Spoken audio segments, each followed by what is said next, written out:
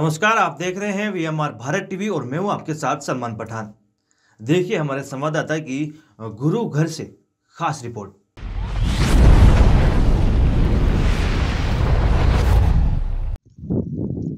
नमस्कार बीएम बार टीवी में आपका स्वागत है। लगातार हम आपको ग्राउंड रिपोर्ट पर लेके आ रहे थे। गुरु घर के जो प्रधान जी है, बिल्कुल उनसे रूबरू करवाया जा रहा था, क्योंकि गुरु घर के जो जितनी भी संगत है, वो अपना एक मुख्य सुनती है तो कि पूरा मैनेजमेंट किस प्रकार की स्थिति में रहता है गुरु का? और गुरु का जो लंगर है, टूट लंगर की बात की जाए या किस प्रकार की मैनेजमेंट पूरा गुरु कर का रखने वाले एक मुखिया चुने जाते हैं, आज उनसे बातचीत करेंगे। क्या कुछ पूरा नाम है इनका? और कितने समय से ये प्रधान पद पे रह चुके हैं? और जो इनका कार्यकाल है कितने समय का हो चुका है और इनके कार्यकाल की स्थिति देखेंगे किस प्रकार की है। सबसे पहले तो जी चैनल में स्वागत है आपका। नमस्कार जी। बाबा जी सबसे पहले प्रधान जी आपका नाम पूरा जानना चाहते हैं क्या पूरा नाम है आपका? तारा सिंह मेरा नाम है जी, जी। गोत चंदी है। चंदी परिवार चो। ਪਹਿਲਾਂ ਮਤਲਬ ਮੈਂ ਕਿਤੇ ਪਾਸੇ ਹੀ ਰਹਿੰਦਾ ਸੀ ਖੇਤੀ ਖੁੱਤੀ ਆਇਆ ਤਾਂ ਹੋਇਆ ਮੈਂ ਸਨ 72 ਦਾ ਹੀ ਇੱਥੇ। ਪਰ ਸਖੀ ਚ ਆਏ ਨੂੰ ਮੈਨੂੰ ਸਨ 81 ਚ ਮੈਂ ਇੱਥੇ ਆ ਗਿਆ। 81 ਤੋਂ ਹੀ ਮਤਲਬ ਕੀ ਹੈ ਕਿ ਸਾਰੀ ਸੰਗਤ ਕਹਿਣ ਲੱਗੀ ਵੀ ਤੈਨੂੰ ਮਤਲਬ ਪ੍ਰਧਾਨ ਬਣਾ ਦਈਏ ਗੁਰਦੁਆਰੇ ਦਾ। ਉਹ ਮੈਂ ਸਮਾਂ ਉਹਨਾਂ ਨੂੰ ਇਹ ਗੱਲ ਕਹੀ ਵੀ ਪ੍ਰਧਾਨ ਕਾਹਦੇ ਆ? ਮਤਲਬ ਕੀ ਹੈ ਕਿ ਅਸੀਂ ਤਾਂ ਚੌਂਕੀ ਪੁਣਾ ਕਰਨਾ ਗੁਰੂ ਘਰ ਦਾ। ਅਨਪੜ੍ਹ ਬੰਦੇ ਆ ਉਹ ਕਰਾਂਗੇ ਬਾਕੀ ਬਈ ਜੇ ਤੁਸੀਂ ਚਾਹੁੰਦੇ ਆ ਬਣਾਓ ਤੇ ਬਈ ਤੁਹਾਡੇ ਸਿਰ ਮੱਥੇ ਬਣਾ ਦਿਓ ਵੀ ਜਨਤਾ ਹੀ ਸਾਰਾ ਕੁਝ ਕਰਦੀ ਆ नहीं जब आप प्रधान बने थे उस समय गुरुद्वारे की स्थिति क्या थी जब कितने समय से आप प्रधान पद पे रह रहे हो ਮੇਰੇ ਕੋਲ 36 ਸਾਲ ਹੋ ਗਏ 36 ਜਾਂ 35 35 40 ਦੇ ਨੇੜੇ ਆ ਵੈਸੇ ਮੈਨੂੰ ਹੁਣ ਪੂਰਾ ਤਾਂ ਨਹੀਂ ਧਿਆਨ जी जी ਪਰ ਹੈ 35 40 ਦੇ ਲਗਭਗ ਉਸ ਟਾਈਮ ਜਦੋਂ ਮੈਂ ਇੱਥੇ ਸੀ ਆਇਆ ਉਦੋਂ ਇੱਕ ਕੱਚਾ ਕੋਠਾ ਸੀ। ਜੀ। ਉਹਦੇ ਵਿੱਚ ਹੀ ਮਹਾਰਾਜ ਦਾ ਪ੍ਰਕਾਸ਼ ਹੁੰਦਾ ਸੀ। ਉਹਦੇ ਵਿੱਚ ਹੀ ਯਾਨੀ ਕਿ ਇੱਕ ਲਾ ਲਓ ਤੁਸੀਂ ਜਿਵੇਂ ਵੀ ਕੋਈ ਵੀ ਆਪਦੇ ਸਮਾਜ ਨੂੰ ਮੰਨਦਾ ਆ ਥੋੜੇ ਬਹੁਤ ਪੰਜਾਬੀ ਸੀਗੇ ਉਹ ਕਹਿਣ ਲੱਗੇ ਵੀ ਪਟਵਾਰੀ ਨੂੰ ਰਲ ਕੇ ਵੀ ਸਾਨੂੰ ਥੋੜਾ ਜਿਹਾ ਪਲਾਟ ਦਿਓ ਗੁਰਦੁਆਰੇ ਵਾਸਤੇ। ਉਹ ਪਲਾਟ ਲਿਆ ਉਹਦੇ ਵਿੱਚ ਫਿਰ ਮਹਾਰਾਜ ਦੀ ਦੇਹ ਲਿਆਂਦੀ। ਮੇਰੇ ਆਉਣ ਤੋਂ ਖਰ ਪਹਿਲਾਂ ਲਿਆਂਦੀ ਉਹ ਤੋਂ ਬਾਅਦ ਅਸੀਂ ਦੋ ਤਿੰਨ ਰੱਖੀਆਂ ਹੋਈਆਂ ਹੁੰਦੀਆਂ ਗੁਰੂ ਦੀਆਂ। ਤੇ ਉਹ ਕੀ ਆ ਕਿ ਕੱਚੇ ਕੋਠੇ ਦੇ ਵਿੱਚ ਵੀ ਕਬੂਤਰ ਕਬੂਤਰ ਇੱਧਰ ਉੱਧਰ ਜਾਨਵਰ ਬਹੁਤ ਰਹਿੰਦੇ ਸੀ। ਪਰ ਚਲੋ ਅਸੀਂ ਉਹਦੇ ਵਿੱਚ ਕੋਈ ਸਾਲ ਖੰਡ ਉਹਦੇ ਵਿੱਚ ਹੀ ਮਨਾਏ ਜੋ ਵੀ ਸੰਗਰਾਂਦ ਉਹਦੀ ਮਹੀਨੇ ਬਾਅਦ ਉਹ ਉਹਦੇ 'ਚ ਹੀ ਮਨਾਉਂਦੇ ਰਹੇ। ਉਸ ਤੋਂ ਬਾਅਦ ਸੰਗਤਾਂ ਦੀ ਵੀ ਆਪਾਂ ਜਿਵੇਂ ਜਿਵੇਂ ਹੁਣ ਹੈ ਕੋਈ ਪੈਸਾ ਬਣਾ ਕੇ ਤੇ ਆਪਾਂ ਕੋਈ ਇਹਨੂੰ ਵਧਾਈਏ।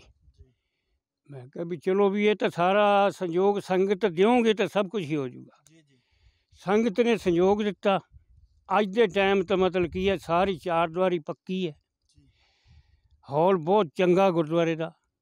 ਮਤਲਬ ਖੁੱਲਾ ਹਾਲ ਹੈ ਪੂਰਾ। ਤੇ ਜਿਹੜਾ ਇੱਥੇ ਸਾਡੇ ਗ੍ਰੰਥੀ ਰਹਿੰਦਾ ਪਹਿਲਾਂ ਤਾਂ ਉਹਦੇ ਵਾਸਤੇ ਕੋਈ ਸੁਵਿਧਾ ਨਹੀਂ ਸੀ। ਹੁਣ ਉਹਦੇ ਵਾਸਤੇ ਵੀ ਦੋ ਕਮਰੇ ਆ ਰਸੋਈ ਉਹਦੀ ਅਲੱਗ ਆ ਉਹਦਾ ਜਿਹੜਾ ਵੀ ਪਰਿਵਾਰ ਰਹਿੰਦਾ ਉਹ ਆਪਦਾ ਅਲੱਗ ਰਹਿੰਦਾ।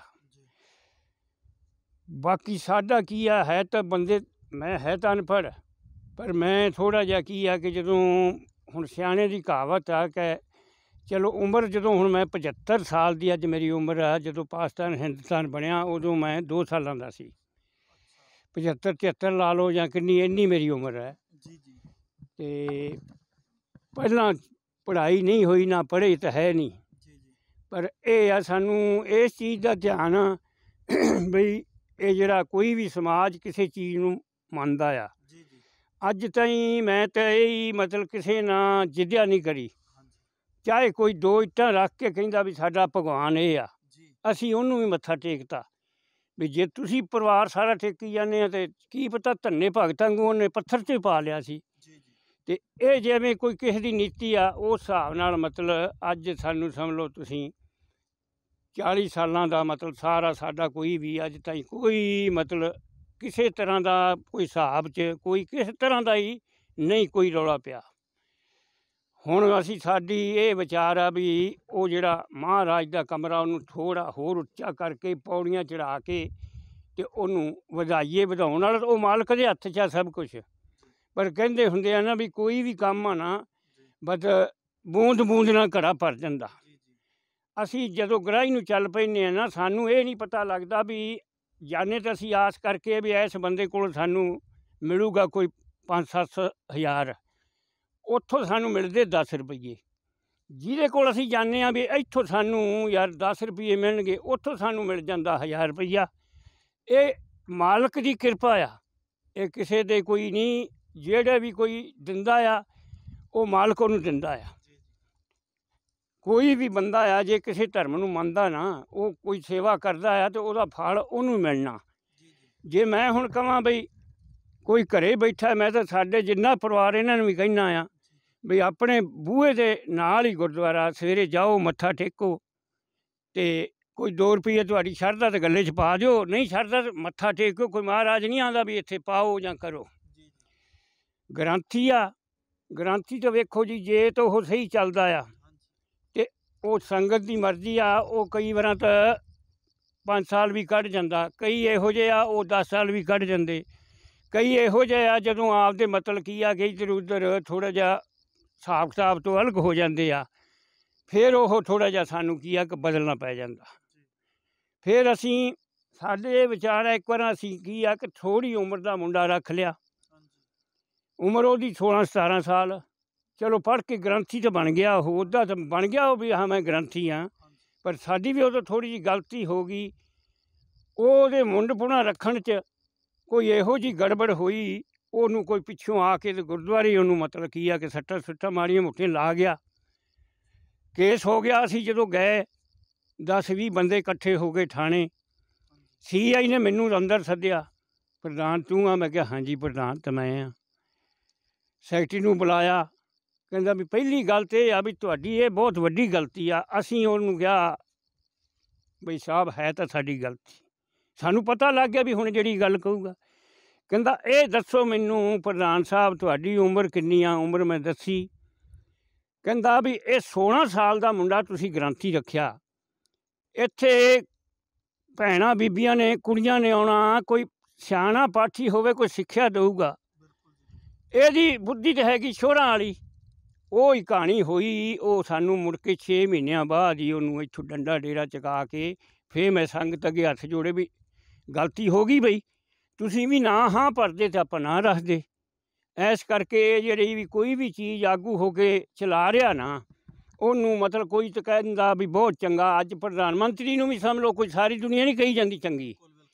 ਠੀਕ ਹੈ ਨਾ? ਪਰ ਸਾਡੇ, ਅਸੀਂ ਤਾਂ ਕੋਈ ਵੀ ਜਿਹੜਾ ਬੰਦਾ ਆ, ਜਿਹਨੂੰ ਦੇ ਰਿਹਾ, ਪਰ ਮਾੜਾ ਕਿਉਂ ਆਖੀਏ?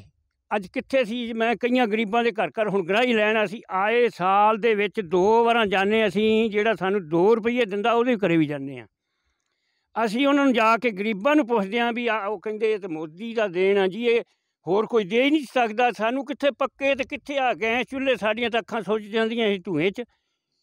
ਫਿਰ ਉਹਨਾਂ ਦੀ ਗੱਲ ਨੂੰ ਮੰਨੀ ਜਾ ਵੀ ਵਾਕਿਆ ਹੀ ਗੱਲ ਆ, ਕੋਈ ਰਾਜ ਵੀ ਜਿਹੜਾ ਨਾ ਕੋਈ ਇਹੋ ਜਿਹਾ ਬੰਦਾ ਆ ਜਾਂਦਾ ਮਤਲਬ ਉਹ ਰਾਜ ਕਰਨਾ ਵੀ ਕਿਹੜਾ?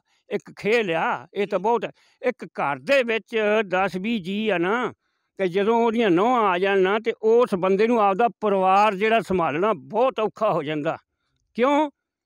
ਪੋਤੇ ਨੇ ਕੁਝ ਕਹਿਣਾ ਦੁਆਂ ਕੁਝ ਕਹਿਣਾ ਪਰ ਉਹ ਇੱਕ ਉਹਨਾਂ ਨੂੰ ਇਕੱਠਾ ਰੱਖਣਾ ਉਹ ਕੀ ਆ ਕਿ ਜਿਹੜਾ ਘਰ ਦਾ ਵੱਡਾ ਮੁਖੀਆ ਹੁੰਦਾ ਉਹਦੀ ਬਹੁਤ ਜ਼ਿੰਮੇਵਾਰੀ ਬਣ ਜਾਂਦੀ ਹੈ।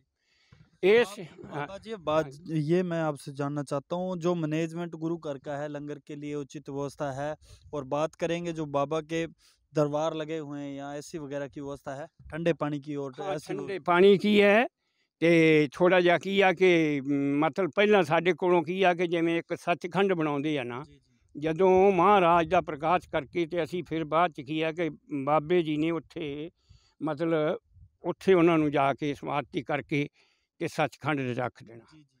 ਉਹ ਪਹਿਲਾਂ ਸਾਡੇ ਕੋਲ ਨਹੀਂ ਹੁਣ 5-7 ਸਾਲ ਹੋ ਗਏ।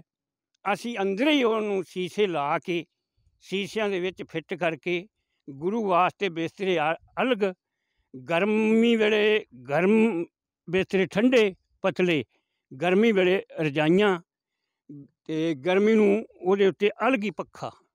ਜਿਹੜਾ ਜਦੋਂ ਆਪਾਂ ਕਹਿੰਨੇ ਆ ਅਰਦਾਸ ਕਰਦੇ, ਰੋਜ਼ ਸੁਣਦੇ ਤਾਂ ਹੈ ਆ, ਕੋਈ ਕਹਿੰਦੇ ਹੁੰਦੇ, ਕੋਈ ਕਹਿੰਦਾ ਯਾਰ ਵਿਆਹ ਤੇ ਨਹੀਂ ਗਿਆ, ਪਰ ਕਹਿੰਦਾ ਘੋੜੀ ਚੜੇ ਨਹੀਂ ਚੜਦੇ ਤੇ ਵੇਖੇ। ਉਹ ਅਰਦਾਸ ਜਦੋਂ ਕਰਦੇ ਆ, ਗੁਰੂ ਮਾਨਿਓ ਗ੍ਰੰਥ ਕੋ ਪ੍ਰਗਟ ਗੁਰਾਂ, ਜਦੋਂ ਉਹਨੂੰ ਆਪਾਂ ਪ੍ਰਗਟ ਹੀ ਮੰਨੀ ਜਾਂਦੇ ਆ ਤੇ ਫਿਰ ਉਹ ਆਪਾਂ ਕੀ ਕਰ ਸਕਦੇ ਆ ਆਪਾਂ ਤਾਂ ਕੁਝ ਨਹੀਂ ਕਰ ਸਕਦੇ। ਕਰਨ ਵਾਲੇ ਤੇ ਇਹੋ ਜਿਹੇ ਆ ਜਿਨ੍ਹਾਂ ਨੇ ਮਤਲਬ ਬਹੁਤ ਕੁਝ ਕਰਿਆ। ਉਹਨਾਂ ਨੂੰ ਫਲ ਵੀ ਮਿਲਿਆ, ਐਸੀ ਗੱਲ ਨਹੀਂ ਗੀ। ਕੋਈ ਵੀ ਕਰਕੇ ਅੱਜ ਵੇਖ ਲਓ, ਉਹਨੂੰ ਫਲ ਮਿਲਦਾ ਆ। हमारे चैनल में- हमारे चैनल के माध्यम से आपको हजारों किसान भाई भी देख रहे हैं गुरुद्वारा के प्रधान मैनेजमेंट भी देख रहे हैं और अध्यक्ष साहब भी देख रहे हैं क्या अपील करना चाहते हो यहाँ के खास काश्तकार भाइयों को यहाँ के जिनके जिनके पास भी ज़मीन है या आम का जो नागरिक है उन्हें क्या कहना चाहते हो चंदे के लिए गुरु घर में चंदा कि- ज़्यादा से ज़्यादा दें या मतलब क्या अपील है आपकी? ਅਪੀਲ ਤੇ ਦੇਖੋ ਜੀ ਪੱਤਰਕਾਰ ਜੀ ਹੁਣ ਸਾਰੀ ਜੇ ਜਿਹੜਾ ਜ਼ਿਮੀਂਦਾਰ ਆ ਨਾ ਇੱਕ ਜ਼ਿਮੀਂਦਾਰਾ ਮਤਲਬ ਜ਼ਿਮੀਂਦਾਰਾ ਇਹਨੂੰ ਕਿਉਂ ਕਹਿੰਦੇ ਆ ਜੇ ਤਾਂ ਇਹ ਸਹੀ ਆ ਨਾ ਤੇ ਇਹਦੇ ਵਰਗਾ ਕੋਈ ਕੰਮ ਹੀ ਨਹੀਂਗਾ ਹੁਣ ਕੀ ਹੋਇਆ ਸਾਰਾ ਇਹ ਨਹੀਂ ਵੀ ਪਾਣੀ ਗਵਰਨਮੈਂਟ ਨੇ ਪਾਣੀ ਵੀ ਦੇ ਦਿੱਤੇ। ਅਸੀਂ ਖਾਦਾਂ ਜਿੰਨੀਆਂ ਪਾਉਣੀਆਂ ਪਾ ਲੀਆਂ ਸਪਰੇਆਂ ਜਿੰਨੀਆਂ ਕਰਨੀਆਂ ਕਰ ਲੀਆਂ ਪਰ ਉਹ ਮਾਲਕ ਨੂੰ ਕੋਈ ਨਹੀਂ ਰੋਕ ਸਕਦਾ। ਉਹਨੇ 5-7 ਦਿਨਾਂ ਦੇ ਵਿੱਚ ਜਿਹੜੀ ਬਰਫ਼ ਸਿੱਟੀ ਆ ਨਾ ਹੁਣ ਐਸਡੀਐਮ ਤਹਿਸੀਲਦਾਰ ਇਹ ਦੌਰਾ ਤਾਂ ਕਰੀ ਜਾਂਦੇ ਅਸੀਂ ਸੁਣਦੇ ਹਾਂ ਗੱਲਾਂ ਬਈ ਕਿਤੇ ਵੀ ਅੱਜ ਜਿਵੇਂ ਹੁਣ ਤੁਸੀਂ ਇੱਥੇ ਮੇਰੇ ਖੇਤ 'ਚ ਆ ਨਾ, ਤੁਹਾਨੂੰ ਉੱਪਰ ਫਲੀ ਦੇ ਵਿੱਚ ਕੋਈ ਦਾਣਾ ਸਾਬਤ ਨਹੀਂ ਮਿਲੂਗਾ, ਸਾਰੇ ਸੁੱਕੇ ਹੀ ਮਿਲਣਗੇ। ਕਿਉਂ? ਇਹ ਨੁਕਸਾਨ ਹੋ ਗਿਆ ਬਹੁਤ ਜ਼ਿਆਦਾ। ਜਿਹੜਾ ਜ਼ਿਮੀਂਦਾਰ ਤੱਕਦਾ ਸੀ, ਕਹਿਣ ਨੂੰ ਤਾਂ ਹੁਣ ਕੀ ਆ ਕਿ ਆੜਤ ਤੋਂ ਪੈਸਾ ਲਿਆਉਂਦਾ ਜ਼ਿਮੀਂਦਾਰ, ਘਰੇ 'ਤੇ ਕੋਈ ਪੈਦਾ ਕਰਦਾ ਹੀ ਨਹੀਂ।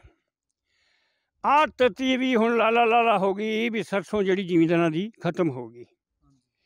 ਪਰ ਸਰਸੋਂ ਬਾਹਲਾ ਨਹੀਂ ਮਰ ਮੈਂ ਇਹ ਮੰਨਦਾ ਆ ਵੀ ਜਿਹੜੀ 7 ਕੁਇੰਟਲ ਵਾਲੀ ਸੀ ਉਹ ਤਿੰਨ ਨਿਕਲ ਜੇ ਨਾ ਤੇ ਬਹੁਤ ਮਤਲਬ ਜ਼ਿਮੀਂਦਾਰ ਫੇਰ ਵੀ ਖੁਸ਼ ਦਾ ਖੁਸ਼ ਹੀ ਹੈ ਇੰਨਾ ਨੁਕਸਾਨ ਹੋ ਗਿਆ ਜ਼ਿਮੀਂਦਾਰ ਨੂੰ ਇਹ ਤਾਂ ਹੁਣ ਵੇਖੋ ਵੀ ਗਵਰਨਮੈਂਟ ਮਤਲਬ ਕੋਈ ਸਹੂਲਤ ਦੇਵੇ ਤੇ ਜਨਤਾ ਦੇ ਨਾਲ ਆ जी धन्यवाद बिल्कुल ये थे हमारे साथ प्रधान जी जिन्होंने बताया कि करीबन 35 से 40 साल का कार्यकाल हो चुका है बात करें जब इन्होंने प्रधानगी का पदभार ग्रहण किया था। तो उस समय से लेके आज तक का जो रिकॉर्ड है, मेंटेन किया है इन्होंने अपने कार्यकाल में, अच्छी स्थितियाँ रही और कुछ कार्यकाल में जो गुजरे समय बिल्कुल वो आपके सामने रूबरू किए। तब तक आप बी एम भाट टीवी के साथ जुड़े रहें। कैमरा सहयोगी सुनील के साथ निशान सदरानंद, धन्यवाद। इस खास पेशकश में सिर्फ़ इतना ही। देश और दुनिया की तमाम बड़ी खबरों से अपडेट रहने के लिए देखते रहिए वी भारत टीवी और मुझे दीजिए इजाज़त। नमस्कार।